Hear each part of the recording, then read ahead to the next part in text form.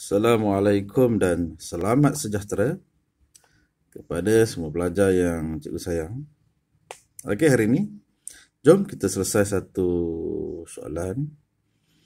Okey, soalan bentuk piawai. Ha, bentuk piawai.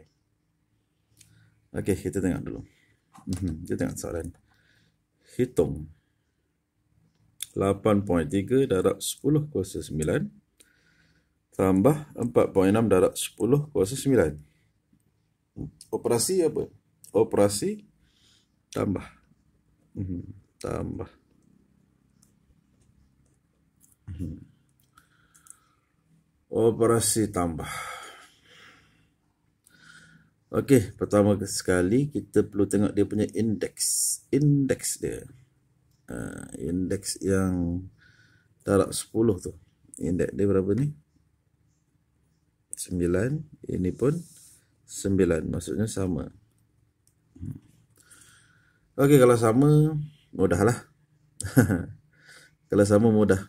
Kalau sama kita terus je uh, tambahkan. Okey sebab operasi tambah kita tambah je. 8.3 tambah 4.6 tambah macam biasa. 3 tambah 6 9 8 tambah 4 12 mhm 12.9 Okey, darab 10, 9 Okey, boleh? Mhm.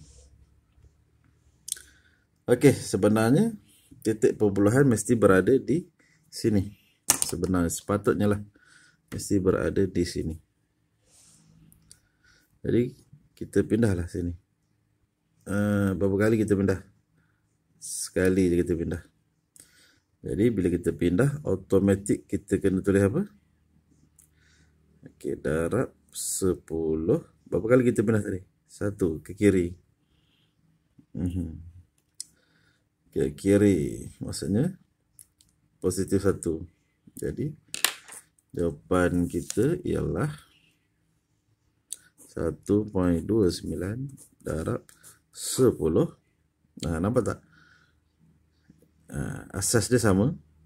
10 10 uh, hubungan dia darab kalau darab indeks dia tambah jadi 9 tambah 1 ok jadi apa jawapannya?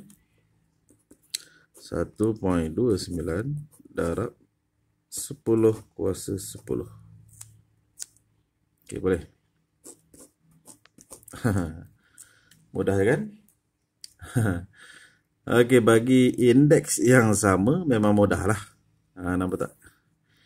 Indeks dia sama. Ha, jadi boleh terus je buat macam tu. Mudah sangat-sangat. Okey. Ha, nanti tengok video kedua cikgu. Di mana indeks dia tak sama. Ha, perlu lah kita buat.